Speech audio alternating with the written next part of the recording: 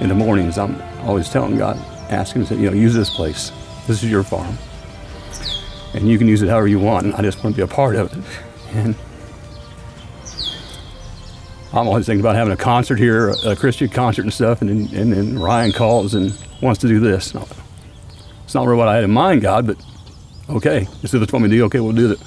And, you know, this is something I just, um, with my faith, that, that this will reach somebody out there that, that uh, will make a difference in their life.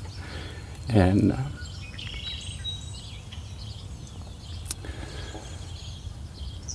I really like talking about my faith more than the farm, to be honest.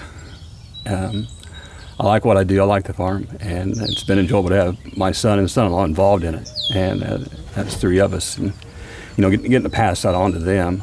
But um, but it's not the most important thing, though. The most important thing is that relationship with with Jesus Christ, and, and I try to live that out for my kids to see. And, and uh, I wasn't always a Christian. Uh, I was 40 years old before I accepted Christ into my life. And I get emotional about that because it, um, when I asked him to come into my life and that relationship started, it was a change.